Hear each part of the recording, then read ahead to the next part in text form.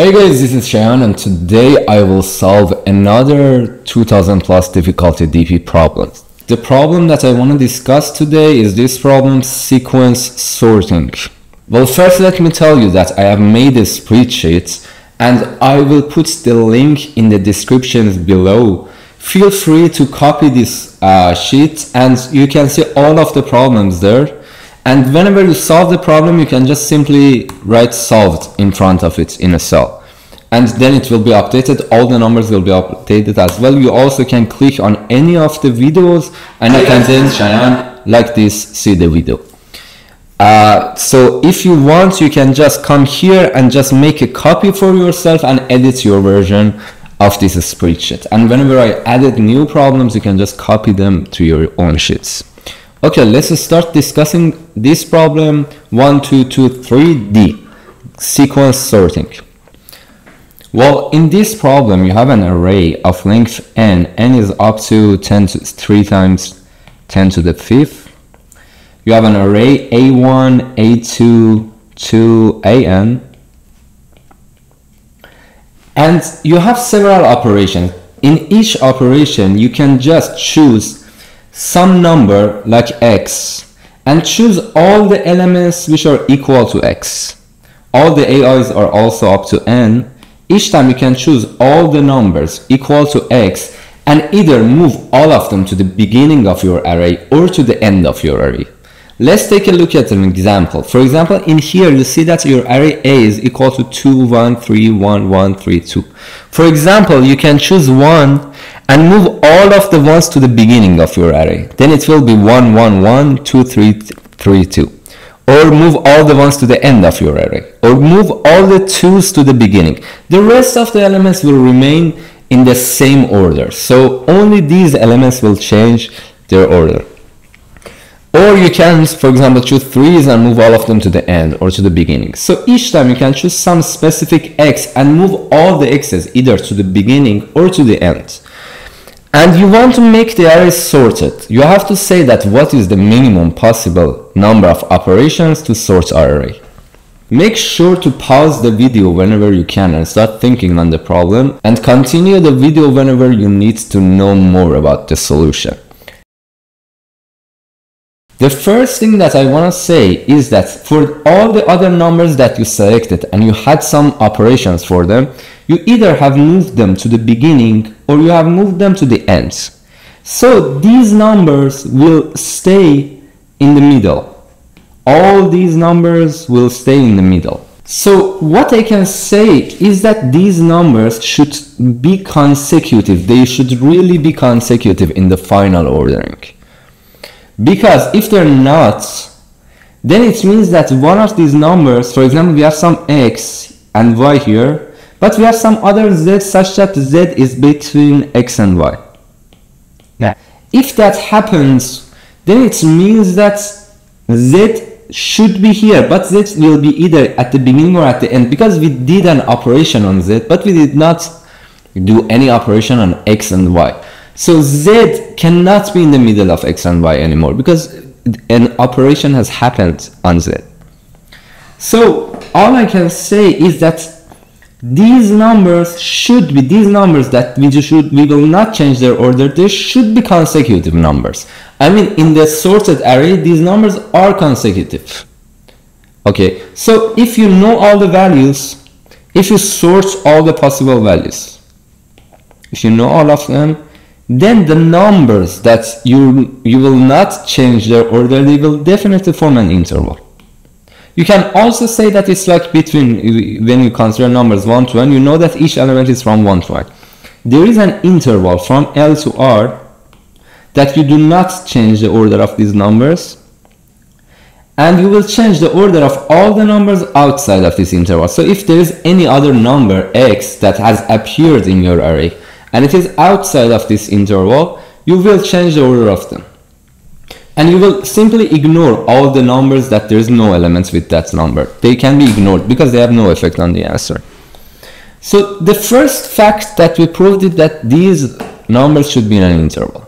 Now pause the video again and think more with knowing these facts. Whenever you were stuck, continue watching the video.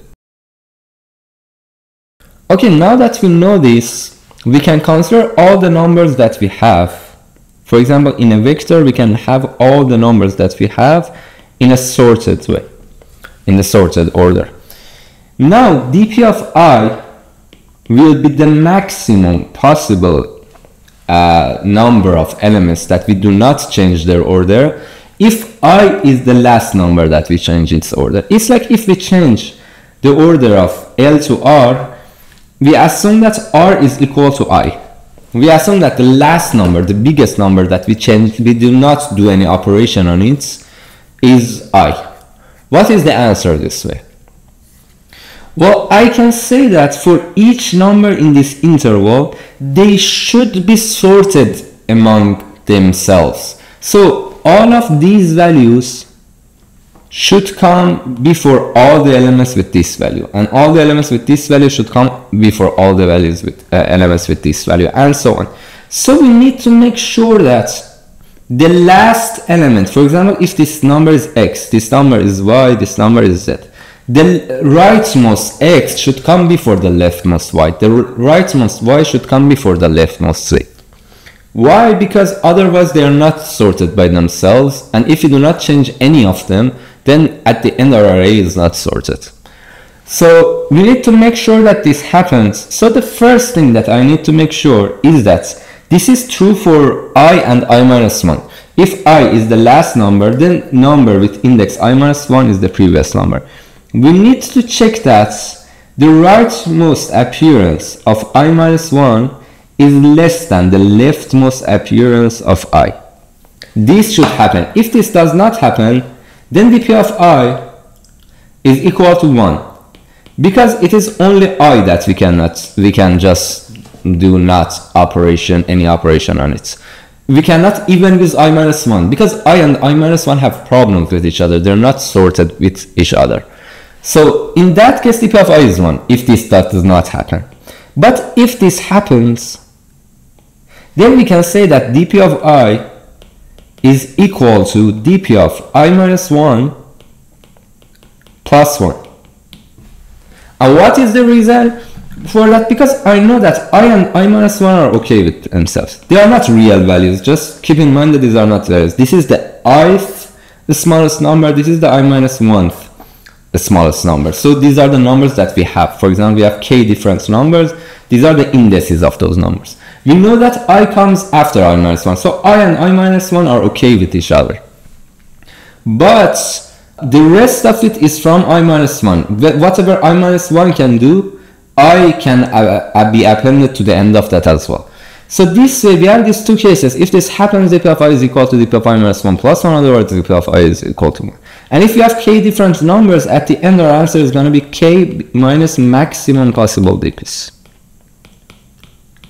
maximum value for dp. And this way, at the end, our answer is going to be k minus the maximum value of dp that we have.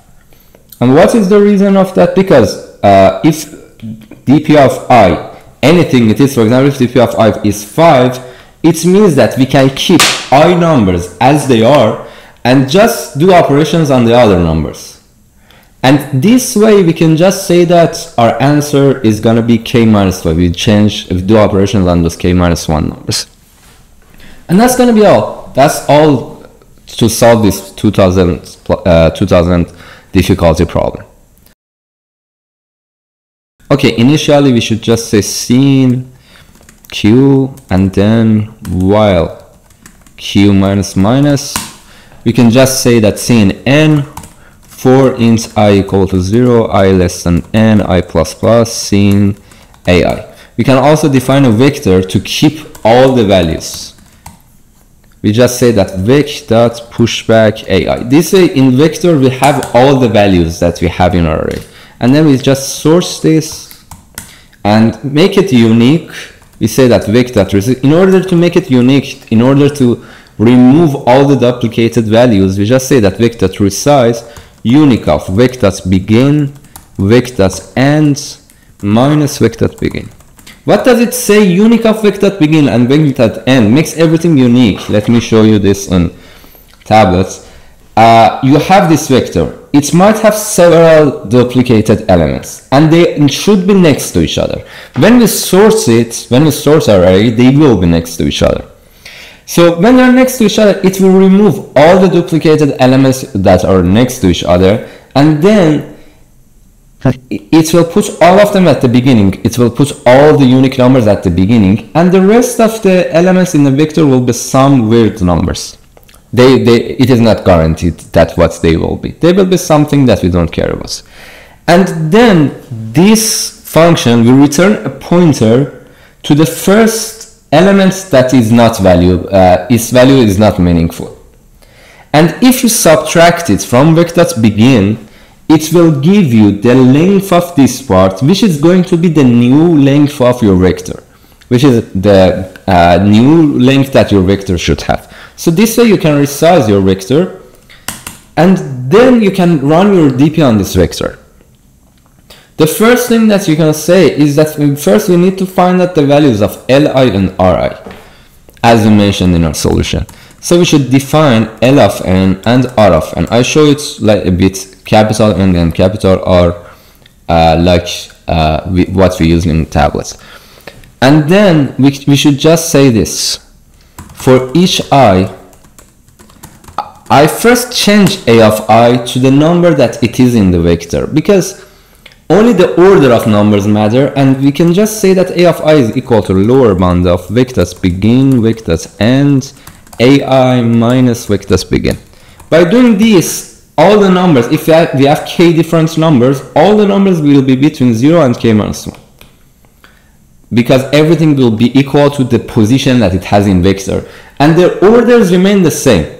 Just the numbers will be smaller they will be from 0 to k minus 1 and everything will be more neat this way we are sure that we have all these numbers and after this I can just say that if initially I have a 4 from 0 to wake that size i plus plus initially I set L of i equal to minus 1 r of i also equal to minus 1.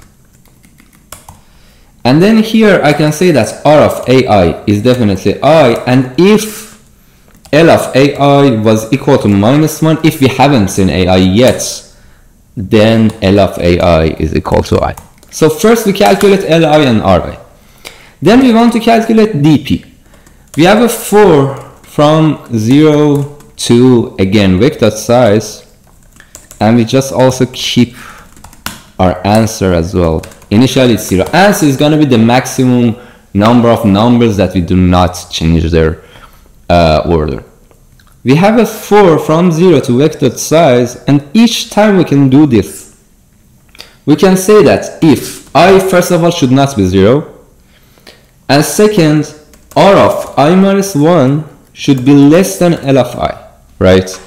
Like what we said in here r of i minus 1 should be less than l of i. We should make sure that uh, the previous number and this number are okay with each other. Their order is correct. If that happens, i can be appended to i minus 1. So dp of i is equal to dp of i minus 1 plus 1. Otherwise, dp of i is definitely 1. And anyway, at the end I should say ans equal to maximum of ans and dp of i. And at the end I should just cout vector size minus ans because I have vector size numbers and I should subtract ans from it. Yeah, it looks fine. Now let's test it and see if really works well. The name of problem is 1223D.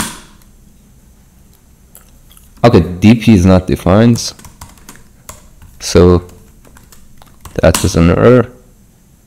Okay it gives us 305 which is not correct because for example in this one the answer is 2 because uh, it's not optimal to change all uh, three of them. It's obvious that it shouldn't be that much. Let me see why uh, this happens. Let me cout. I dp of i here. Let's see what has happened Okay, so dPE is non-zero.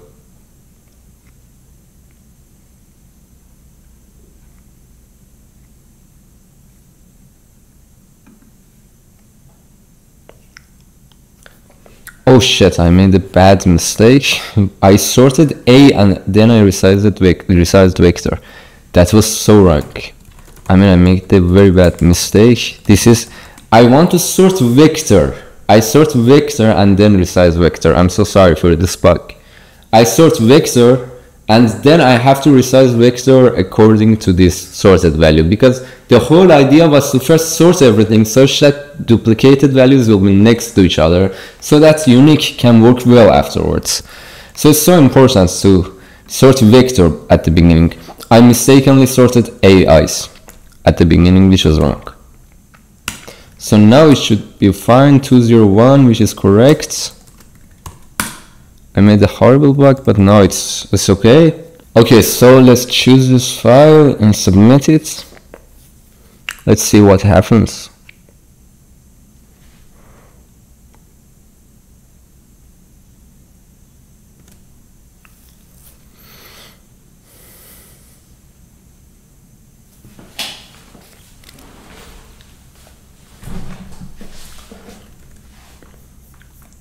Running on test 3